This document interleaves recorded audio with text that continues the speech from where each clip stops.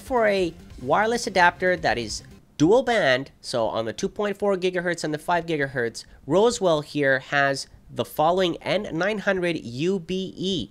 Has both built-in and an external antenna that will increase coverage, of course, throughout your home, office, and of course, this comes very well priced. I'm going to put the link below in just a moment, but just looking at the box, you got the drivers, and of course, you've got the adapter itself.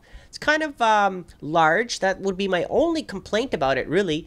Um, but if you have enough USB plugs, then shouldn't be a problem. Here are the product specifications. I, as you can see, the Ralink RT 3573 chipset. That's what it's using. USB 2.0, of course, to plug it in there and get maximum amount of power getting to that adapter so that way you got good strength. And of course, the security capabilities are there, so there's no issues.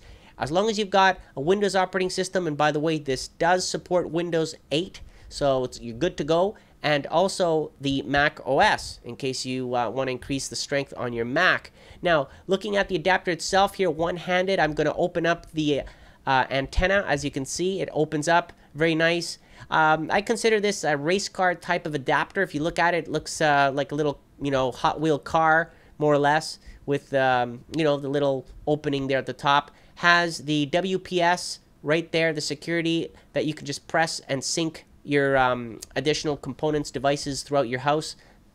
And that's pretty much about it. I mean, other than the uh, antenna that opens up to give you additional coverage, that's um, pretty much it. It has a little blinking LED on the side that uh, turns green and it shows you the activity. Now, once you install the software, the utility, you can um, obviously set up your SSD ID, connect to your home network. You can see the rate there, 300 megabits per second, the IP address, everything that I have set up here. And of course, you can check available networks in your area and it will tell you whether it supports B, G, or N. Obviously, all of these that I have right now support all three.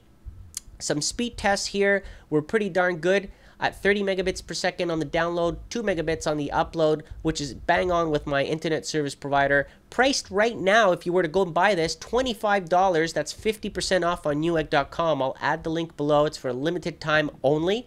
So uh, comment below. Let me know what you think if you're interested in this.